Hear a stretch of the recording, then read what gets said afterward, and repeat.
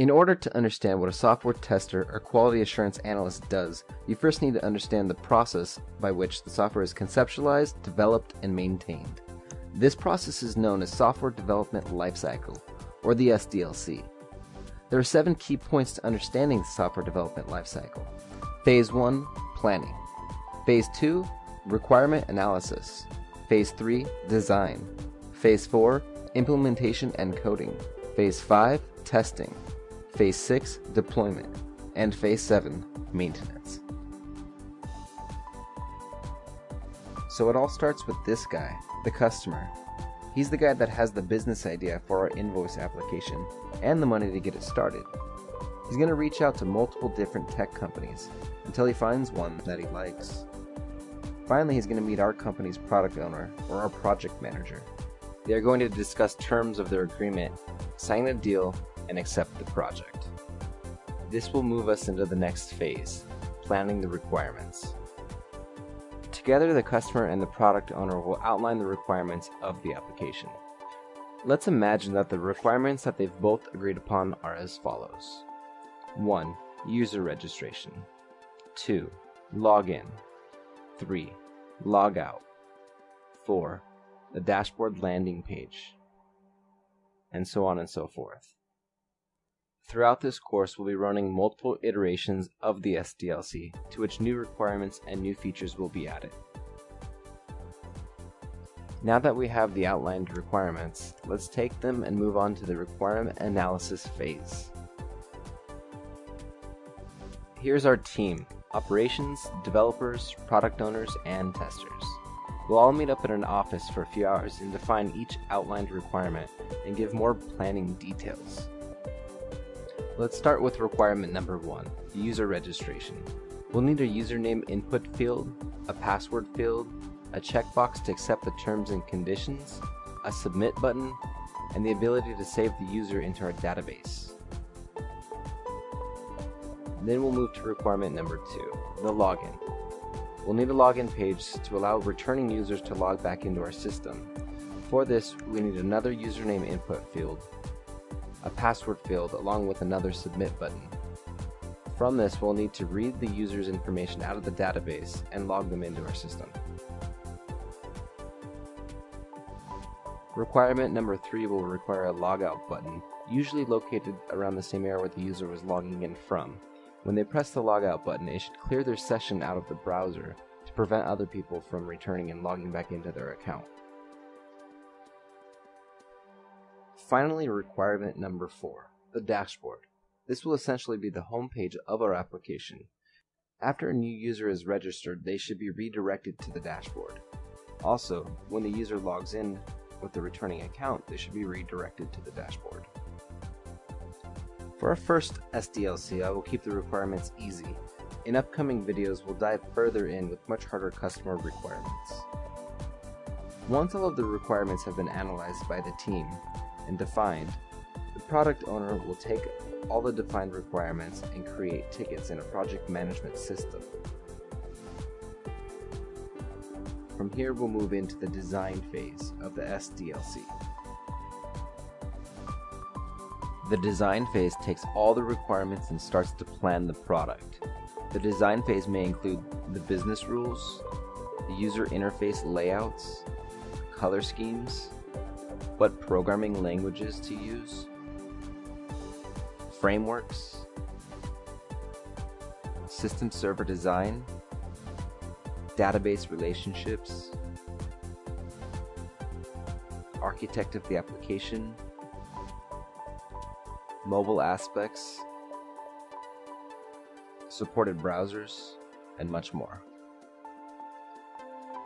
Next, we'll discuss the implementation and the coding of the application. The implementation and coding phase is where everything starts to become fun.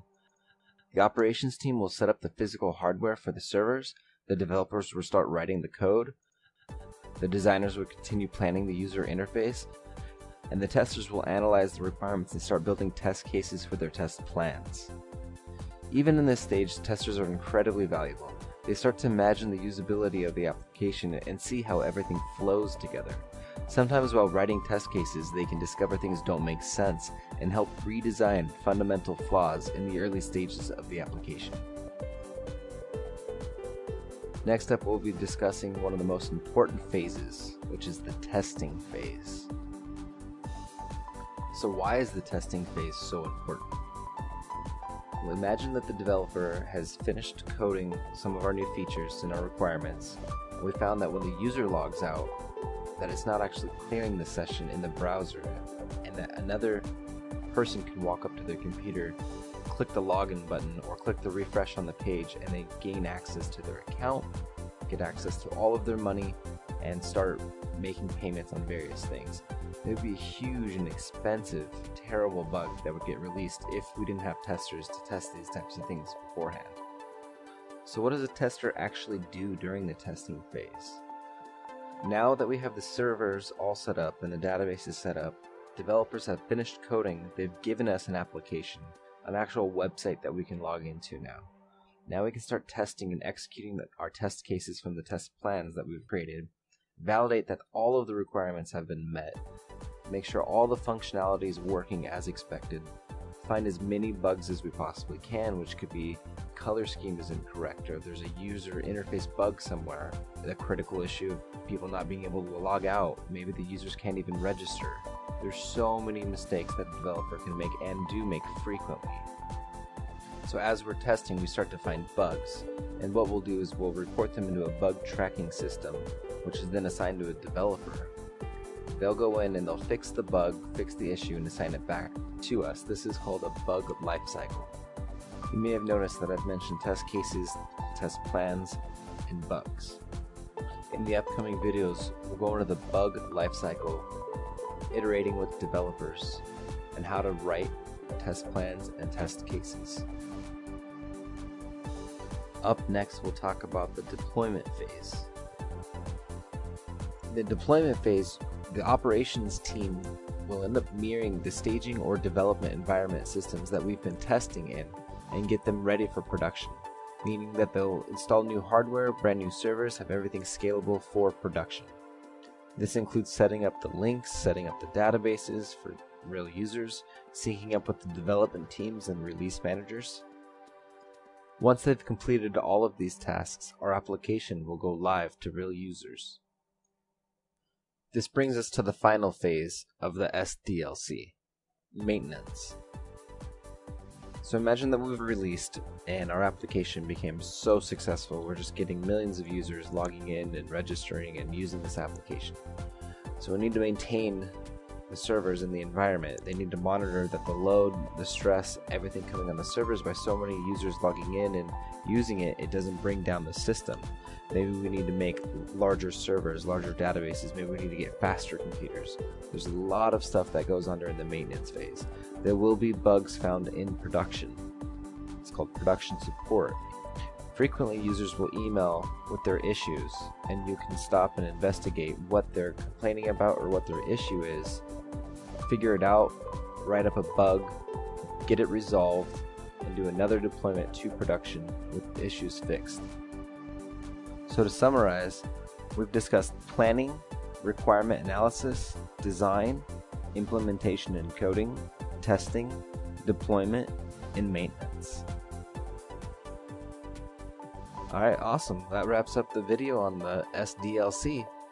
Uh, one last thing to say is once we're in the maintenance phase, new features will come through, new requirements will come through, and we'll restart the whole process again and be able to get new stuff added into our existing application.